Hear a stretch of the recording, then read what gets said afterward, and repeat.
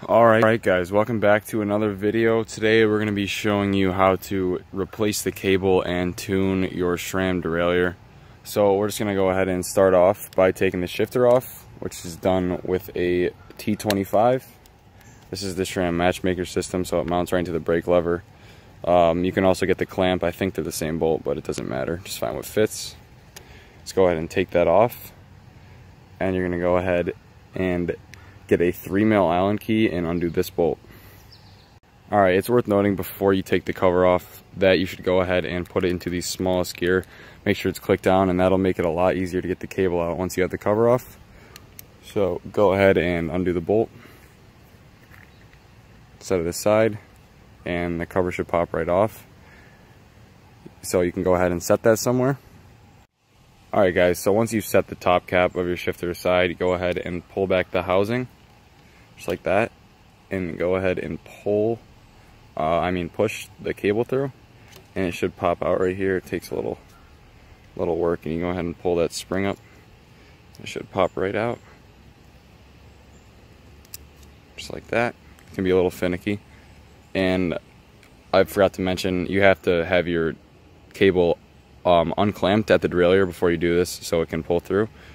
And then go ahead and just pull the cable right on through should come right out. You have a free shifter. So we'll go ahead and put a new one in now. Alright guys, little pro tip here. Before you put your new cable in, you can go ahead and take something like Tri-Flow and just let it seep down into there. And this will give you a lot smoother shifts and it'll stay that way for a long time. You don't need to go overboard, you don't want it running out the other side. Just let it drain right down into there. That should do it and now we can put our new cable in. Alright guys, so the cable goes in the exact same way it came out. Just go ahead and feed it right through. Takes a little, little finesse to get in there, but if you got it, just go ahead and pull it all the way through. Super long, so it can be a pain in the ass. So there it is. Make sure it's underneath the spring and make sure it seats up nice against just like that. And I can go ahead and put the cover back on your shifter and attach it back to your bar. Alright, so now your shifter is attached, you can go ahead and feed the cable through the outer housing. Just go ahead, it should run right through, especially if you put Tri-Flow in there.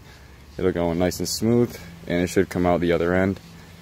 It's a little bit more complicated if you have internal routing, but this bike has a straight shot of cable all the way down to the derailleur, so it's not too bad at all.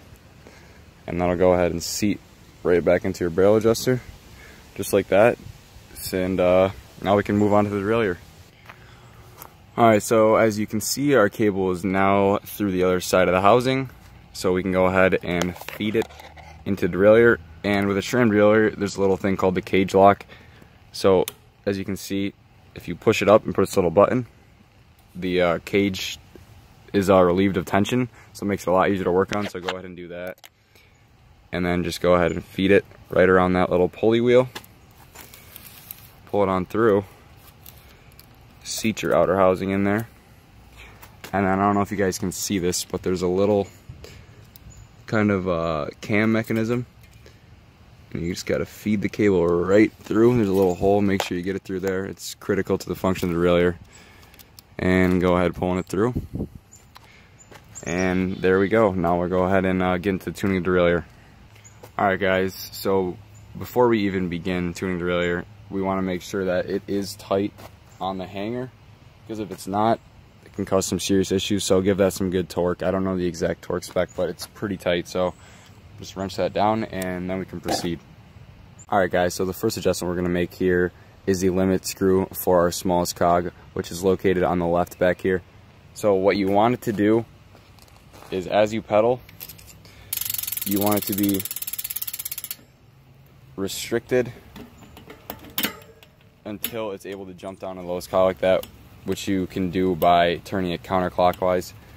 As, as soon as it starts to feel smooth, just go ahead and stop because if you back it off too much, it'll jump into the frame and that is the point of this adjustment. Sorry for the loud hub. So now that we've got that done, we can go ahead and pinch our cable and we'll get to the, uh, the biggest cogs limit screw. Alright, so when you're cinching the cable, just feed it up and over and it's very important, you really do not have to go crazy on this. Just give it a little tension with your hand. You can finish off with the barrel adjuster when you're done. And you don't need to over tighten it either. Just make sure it's nice and snug. And that's that. So now we can get on to the other limit screw. Alright, so the concept here is the same. We want it shifting up the block, but we don't want it to jump into the spokes, which as you can see, it's already tuned properly. So it will sit there and it will not jump into the spokes. How you adjust that is this screw right here. Turning it clockwise moves it inboard, so away from the spokes. Counterclockwise is outboard, so you want it as close as you can before it jumps in the spokes so it shifts nice and smoothly. Alright, so our last physical adjustment on the derailleur is the B tension screw right here. And what this does is it puts space between the top jockey wheel and the derailleur and the cogs. So you want about that much room, like probably about a chain's width between the biggest cog and the jockey wheel. And all you do for that is shift into the biggest cog. I don't even need to do it because it's pretty self-explanatory. You guys can figure it out. And turning this clockwise will push the jockey wheel away, counterclockwise towards, and uh, that's it. And you can just fine tune that. The best feel SRAM does recommend a certain gap, which I think is about three to five millimeters. But uh, it's kind of it's kind of a feel thing. So go ahead and do that until it feels right. All right, so now that we have our limits set and we're gonna tune the actual shifting, we can go ahead and cut this cable. So you don't have to leave too much room. You don't want it too short, just nice and tidy. Go ahead and snip that. And put a little end cover so it doesn't fray. And go ahead and clamp that. There is specialty tools for this, but you can just use a pair of standard pliers. And I like to just bend out a little bit so it doesn't rub the derailleur even though it's unfortunately marked up already. and Keep it as nice as I can. So uh, now we can get into the shifting. All right, so how we tune the shifting is through the barrel adjuster. So your cable tension should be close enough that you can just fine tune it from here. So if your chain is having trouble moving down the cassette into a smaller gear, you're gonna wanna turn this clockwise. And if it's having trouble shifting up into a bigger cog, you're gonna wanna rotate it counterclockwise. This puts more tension on the cable.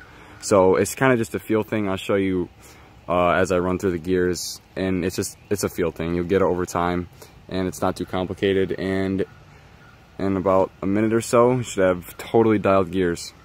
So I'll show you what that's like. All right, so now I'll just run through the gears and fine tune our cable tension. Looking pretty good so far. Coming down the block nice. Maybe going up a little bit better than it's coming down, so we're going to turn our barrel adjuster clockwise so we can drop onto those smaller cogs a little bit faster. See how that tries out, how it works out. There we go, pretty dialed shifting right there. Sorry for the loud hub once again. So just like that guys, it's just a feel thing You just dial it in until it's working how you want it. And I would say it is working pretty perfectly right now. Alright guys, that's pretty much it. So this is something that just kind of takes practice and uh, the more you do it, the better you get at it. But it's not very difficult. I hope this was helpful. I know some of the things and how I explained them were a little bit complicated. But uh, if you were to actually try this, it's not too difficult and it makes for a lot better performing bike and it's more enjoyable out on the trails to ride a bike that performs well. So if you like the video guys, please subscribe, like, and comment, and I appreciate you guys who do already.